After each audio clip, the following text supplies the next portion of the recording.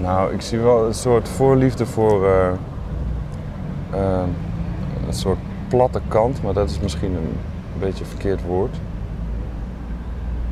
Nou ja, als je het heel, heel eh, vierkant wil zeggen, ehm, geschoold en niet geschoold. Dus gewoon denken en niet denken. En die twee tegenstellingen, die dan bij elkaar, dat is heel kort door de bocht. Maar dat interesseert me wel, ja. Niet per se het liefst, maar dat, ja. En waar komt denk je die interesse dan vandaan? Oh, geen idee.